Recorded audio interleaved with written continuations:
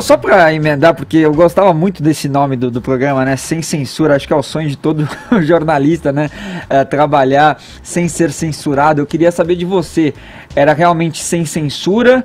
E se em algum momento da sua profissão você sofreu algum tipo de censura? Vários momentos. O programa era, realmente era sem censura. Eu nunca. Eu acho que eles atualmente nem assistiam, porque eles não reclamavam de nada. E as pessoas sempre reclamam, né, de alguma coisa. Sim. Mas, nunca enfim, tá bom. É, nunca tá bom. E a pessoa nunca reclamar é estranho. Mas era bom de fazer, não tinha. Entendeu? Não teve durante os governos do PT ou do, do, do, anteriores do PSDB, porque eu fiquei muitos governos, né? Acho que eu, só de presidente da TV Brasil tive uns 18.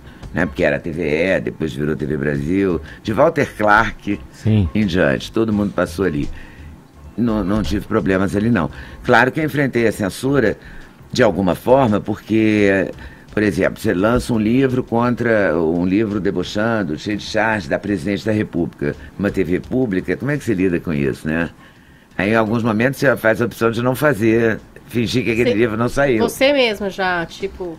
É, porque você fica tão constrangido que você prefere fingir que não é exatamente um best-seller, então não é uma coisa necessária. É necessária. Claro que quando é necessário envolve a população do país, você não pode fugir da raiva, você tem que fazer a matéria e dane-se, né? Quem, quem se danar. Mas isso não tinha, isso não tinha. Eu enfrentei censura de maneiras muito é, contundentes, assim, tipo TV Globo, essa época Brizola, Dr. Roberto. O Brizola não podia aparecer mesmo de jeito nenhum. E aí, mesmo que fosse numa imagem é, de uma mesa redonda, por exemplo, uma imagem de um painel, lá no fundo e tal, já, já não podia. Mas a, o melhor episódio foi quando eu fui entrevistado o Helder Câmara, assim, o que eu lembro mais, eu era muito jovem na época, logo estava começando, e fui à Casa Amarela, lá no Recife, entrevistado o Helder. Ele falamos da reforma agrária e tal, falei de tudo, e ele, no final, ele me, me abraçou e falou, você não vai ficar triste se essa matéria não sair, não, né? É. Como assim, Dona? Eu vim do Rio aqui entrevistar o senhor, claro que a matéria vai sair. Minha filha, eu sou, eu sou padrinho de um dos filhos do doutor Roberto. Fica tranquila se não sair, eu não vou ficar aborrecido. Olha. Fui embora pro Rio achando.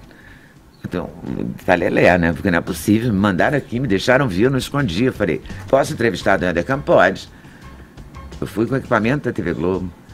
Bom, quando a matéria entrou no ar, quem falava em reforma agrária era eu. Eu falava, a reforma agrária é importante, né, Dona Ele falava, sim. Pum, acabava a resposta.